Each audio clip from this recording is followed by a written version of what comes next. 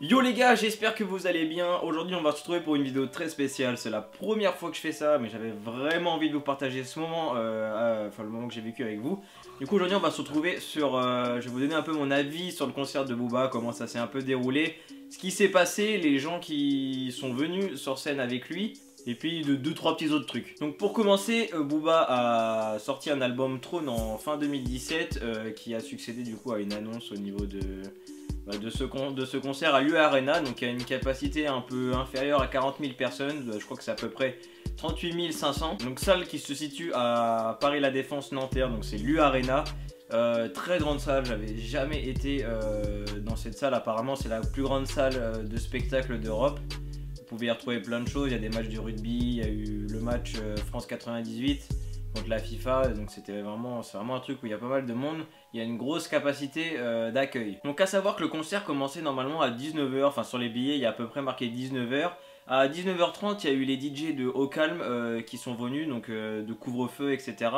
Et ensuite après du coup il y a eu une petite attente, moi je suis arrivé un peu en retard entre guillemets, je suis, suis pas arrivé quand il y a eu ça, j'arrive à la fin vraiment des DJ. Et vers à peu près de 20h à 21h il n'y a rien eu et le concert a commencé à peu près à 20h55. Et en fait, Booba est arrivé totalement sur une, euh, bah, dans un vaisseau. Le décor était vachement, vachement ouf. C'était vraiment un vaisseau à la type Star Wars. Je sais même pas d'ailleurs si bah, ça doit être inspiré de ça, évidemment. Et c'était très spectaculaire. Franchement, le vaisseau, il faisait une taille. La scène, elle était vraiment énorme. Euh, au niveau du décor, c'était vraiment très chouette. Donc, je vais vous mettre une petite vidéo à peu près que j'ai filmée.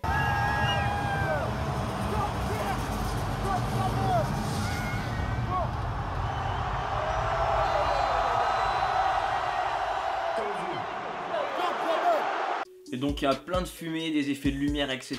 Il y a une sorte de, de, tambour pour vraiment montrer qu'il arrive, etc. Là on le voit arriver, il sort de, sort d'en dessous, euh, dessous la scène avec point levé avec le micro, il lâche un gros euh, easy. Là, t'as toute la scène, t'as tout le monde qui se met à gueuler, un truc de ouf. Savoir que moi, euh, j'étais dans au carré or, donc j'étais vraiment tout à gauche de la scène à peu près, en voyant en face de la scène. J'étais vraiment au deuxième rang, j'ai payé un peu cher la place, c'était 200 euros je crois. Euh, à savoir que quand tu prenais cette place, tu bénéficiais du pack Trône. Donc tu avais le droit à une casquette qui est juste ici avec marqué 9DI, donc normalement c'est une édition limitée. Je sais qu'il y avait un stand de merch, mais je sais même pas si... Euh, je sais pas s'il la vendait celle-ci, j'ai vraiment pas fait gaffe. Et dans ce sac, c'était un peu dans ce sac là. Donc t'arrivais, te demandais ton nom, ton prénom, il y avait déjà une liste. Donc là après on peut voir hop, Booba U Arena avec tous les albums qu'il a sortis avec des références euh, de chiffres. Et il y avait un petit t-shirt que je vais vous montrer tout de suite. Et euh, celui-ci, donc avec marqué irréprochable. Moi, ça m'a fait bien rire d'avoir ce t-shirt là, je suis vraiment content. J'avais peur qu'il nous fasse juste un t-shirt avec la pochette de l'album en mode ouais, c'est une édition limitée. Après, c'est sur du Gildan, hein, mais bon, euh, ça fait toujours plaisir d'avoir un petit truc comme ça. Donc, c'est le t-shirt qu'ils avaient mis après le procès en disant ouais, irréprochable, etc. Pour dire qu'ils allaient pas refaire de conneries, etc. Donc, je trouve vraiment le clin d'œil sympa. Donc ensuite, fallait vite aller chercher ça par contre du coup avant le concert parce qu'il y avait une heure, c'était jusqu'à 21h. D'ailleurs, euh, c'est vraiment de la merde, on aurait pu aller à la fin. D'ailleurs, gros bordel pour sortir. Et du coup, il arrive sur scène comme ça euh, et il lance le son. Euh, c'était 3G si je dis pas de bêtises. Et ça a ambiancé directement la salle. moi j'ai vraiment kiffé. Après, je peux pas vous épeler les sons un par un, j'ai plus le listing, etc. J'ai pas filmé tout non plus, j'ai fait quelques petites prises parce que j'avais vraiment envie de profiter du concert. Et après, savoir que moi j'étais tout seul au niveau de mon endroit, donc je connaissais pas grand monde, mais ça n'a pas empêché de m'ambiancer fort. J'avais à côté de moi un gars de, dans un daron, euh, je pourrais pas vous dire son âge, sinon, euh, si imagine, je tombe là-dessus, il va trop mal le prendre. Mais c'était vraiment, il y avait une grosse ambiance, tu vois, il y avait tout le monde, il y avait vraiment une génération euh, avec un grand âge d'écart, tu vois. Il y avait des gars de 20 ans, il y avait même des gars de 16 ans, de, toute la France. Il y avait des gars de 35-40 ans, il y a même des parents qui accompagnaient leurs enfants pour assister au concert qu'ils ne connaissaient pas forcément. Et je trouve que ça, ça, ça fait Booba d'un d'un des meilleurs rappeurs de France, tu vois, c'est presque l'un des seuls qui peut réunir autant de personnes d'un coup. Euh, parce que ça traverse vraiment toutes les générations. T'as des gars qui écoutaient ça, qui avaient 20 ans à l'époque euh, à l'époque lunatique, etc.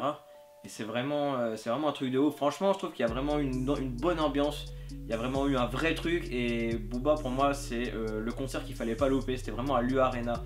Sachant que dans ce concert-là, il a vraiment ressorti des classiques. Il a, même si les classiques n'étaient pas en entier, il y a eu quelques petites parties, par exemple 30 secondes, 1 minute. Il a sorti des sons de mauvais oeil, il a sorti des sons de temps mort. Mauvais oeil, il y en a eu qu'un, je crois, parce qu'après, c'est vrai qu'il n'y a pas énormément de gens qui connaissent, mais d'ailleurs, bien dommage, mais après, c'est compréhensible sans être compréhensible. Il a, il a sorti des sons de Temps Mort, il a sorti des sons de Westside, des sons de Lunatic, de l'album qui date à peu près de 2010, si je dis pas de bêtises. C'était vraiment un gros truc. Euh, après, savoir que pour ceux qui étaient loin, franchement, euh, je sais pas du tout, ça devait, être, ça devait être très galère. Il y avait des grands écrans quand même, mais bon, c'est pas forcément euh, ce qu'il y a de mieux. Mais moi, tu vois, j'étais près de la scène, mais c'était loin quand même en fait. C'était, on voyait assez bien, mais bon. Donc, il a vraiment sorti des sons récents aussi. Bah, il, a, fait Bébé, Gotham des choses comme ça, éléphant, DKR, il y a vraiment eu un truc euh, de ouf. Il a pas fait tout l'album Trône, il y a des sons qui n'étaient pas présents euh, lors du concert. Je suis un peu déçu, moi euh, j'aurais bien entendu un petit Centurion, mais bon après je suis vraiment content de ce qu'il y a eu, d'avoir entendu des sons comme Jour de Paye, Paradis, Bakel City, des trucs comme ça, c'était vraiment quelque chose de ouf, même avoir entendu des sons de... Quand il a lâché Boulby, ça a été un déchaînement, ça a été un truc de ouf. Il y a bah, le gars qui est à côté de moi, il a lâché ses, ses meilleures phases, il est vraiment, il est à fond. Et ça, c'est ça qui m'a fait triper, tu vois. Je me suis dit, putain, il y a vraiment un, il y a vraiment rassemblement de plein de personnes, tu vois. Ça fait vraiment un vrai truc. Après, il y en a plein qui disaient aussi que oh, le, normalement c'était affiché complet. Après, il y a pas mal de gens qui vendaient leur place donc qui ne pouvaient pas venir. Mais au niveau de la fosse, c'est vrai qu'il y avait euh, un moment des trous. Après, je pense que c'est vachement. Ça doit être fait exprès parce que, imaginons qu'il y a quelque chose où tu dois évacuer d'un coup. Bah, s'il y a trop de monde et que tu peux pas passer, faut vraiment qu'il y ait une, une, espèce de, distance avec personne pour pouvoir évacuer s'il y a un souci. C'est vraiment, après, c'est une petite parenthèse, mais, euh, voilà. Du coup, après, en guest, euh, en premier, on a eu Dossé, si je dis pas de bêtises.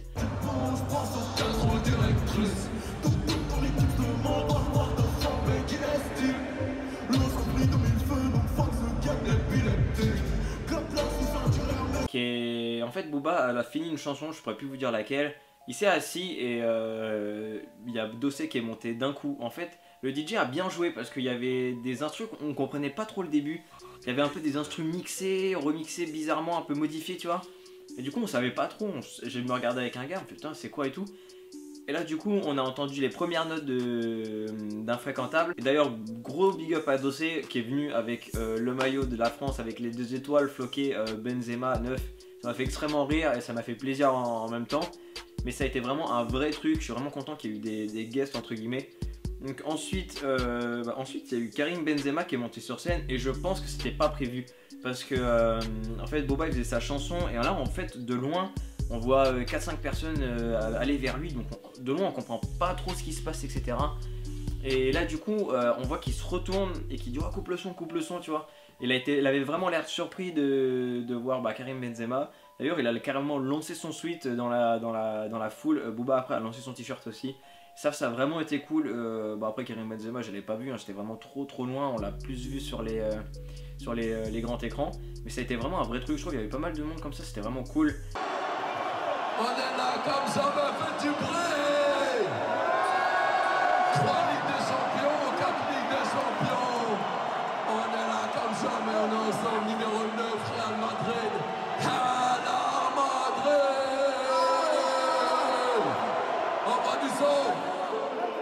aussi, il y a eu euh, Niska et Niska, grosse entrée.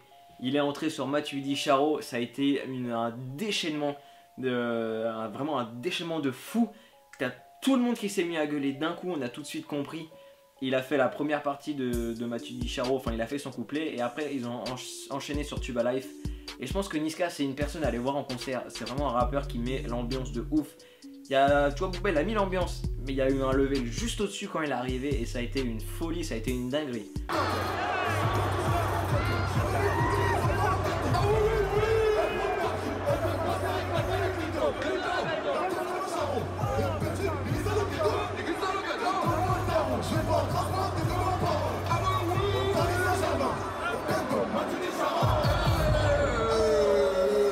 Et donc ensuite, euh, ils ont fait Tuba Life et Tuba Life vraiment bien kiffé. Euh, ensuite, il y a eu, entre temps, je crois qu'il y avait eu Gâteau, si je dis pas de bêtises. Euh, mais après, Gâteau, c'est pas vraiment, tu vois, j'aime bien, mais c'est vrai qu'à un moment, il a parlé, on n'a pas compris, on a juste dit, oh, pareil, tout le monde s'est mis à gueuler. Mais c'était vraiment cool. après, c'est deux acolytes, enfin, ils sont souvent ensemble, du coup, c'est assez marrant.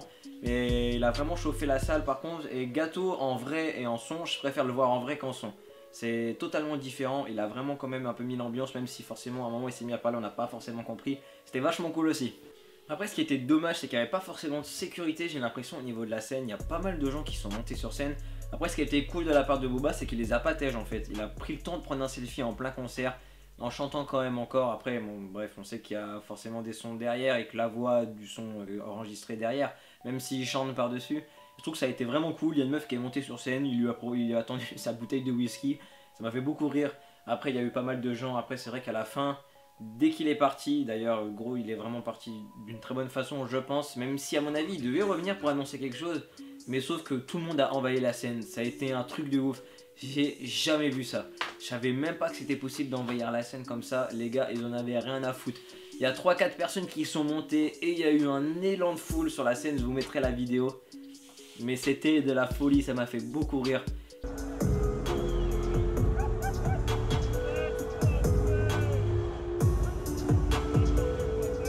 Mais Booba du coup comment il a fini? En fait il a fini sur AC Milan et je trouve que c'était très très très bien choisi de finir sur AC Milan.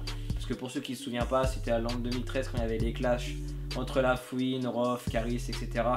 Et ça, pour moi, c'était vraiment la meilleure sortie. Il aurait pas pu faire euh, autre comme sortie. C'était vraiment, vraiment bien placé. Quand je dis ça, c'est vraiment dans le sens quand il dit ouais, il n'en restera qu'un. Soit il dit il n'en restera qu'un et puis après il part, il remercie tout le monde, il s'en va. Et je trouve que ça a vraiment été un bon truc. Moi, j'ai vraiment kiffé l'ambiance du concert. Après, c'est vrai que bon, c'est Booba, il y a 40 000 personnes. Tu t'ambiances pas. Après, je pense que je l'ai pas ressenti comme ça parce que j'étais pas dans la fosse. Mais tu t'ambiances pas euh, à 100%. Il y a des moments où t'arrêtes ou un petit truc, il y a toujours un truc où tu redescends. Mais euh, moi j'ai vraiment bien kiffé. Après c'est vrai que je pense que pour vraiment vivre un concert comme ça, faut être dans la fosse, mais la fosse or. Moi je voulais pas aller en fosse parce qu'il y avait plus de place en fosse or. Je voulais pas aller dans la fosse par peur déjà de Mohamed 65, c'est très difficile de voir. Et le fait c'est que si tu dois sortir pour bouger, pour aller chercher à boire, à manger, c'est une galère. C'est vraiment une grosse galère. Mais après le concert était vraiment très bien. Il y avait vraiment une séparation entre la fosse or et la fosse classique.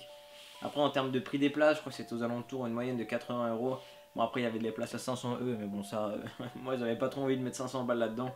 Mais bon, franchement, le concert a été très bien. Euh, il y a des points que j'ai retenus, surtout quand il a lancé Mauvais Langue.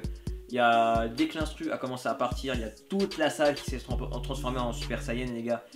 Ça a été une dinguerie, c'est vraiment le son par excellence où tu es obligé de t'ambiancer. C'était vraiment une putain de tuerie, j'ai vraiment kiffé. Après, franchement, si je devais noter le concert, je pense que j'aurais mis 7,5, 8 sur 10. Pourquoi une note comme ça? Déjà, c'est parce qu'au niveau de l'ambiance, etc. Après, c'est que Booba fait beaucoup chanter la foule. Et du coup, bah, tu vis pas ça comme euh, quelqu'un qui vraiment fait chanter, qui chante par lui-même et qui, voilà, il n'y a pas forcément de playback ou autre. Même s'il n'y a pas eu de playback, il y en a eu très très peu. C'est juste en arrière-fond, vraiment, avec un peu de son. C'était pas mal, il y avait un, petit peu de, un peu le son, tu vois, mais c'était pas, c'était pas choquant. Mais comme il fait chanter le public, tu vis, c'est pas la même chose. Il y a un petit truc qui m'a dérangé et ce que j'ai vraiment kiffé, c'est qu'il fasse des refasse les classiques, etc. C'est vraiment la partie que j'ai vraiment kiffé de entendre les sons de l'album Lunatic qui est sorti en, 2006, en 2010. Cet album-là, je me rappelle, je l'ai vraiment séché. C'était vraiment l'époque où j'écoutais à fond Skyrock, j'écoutais euh, des les trucs comme ça. J'étais au collège, je me rappelle, et ça m'a rappelé pas mal de bons souvenirs. Euh, aussi au niveau des sons d'Akat, etc. de Westside, ça a été vraiment un vrai truc. Et bah du coup voilà, j'espère franchement la vidéo vous aura plu. Je vais essayer de voir si je peux pas vous mettre 2-3 petites vidéos à la fin, en voir si je me fais pas prendre des droits d'auteur avec tout ce qui se passe en ce moment sur YouTube. N'hésitez pas à me dire si les vidéos sur des musiques comme ça euh, vous intéressent. Moi, je vais en refaire, euh, d'où le changement de décor, ça va être un, un petit peu différent. On se retrouve prochainement pour une prochaine vidéo.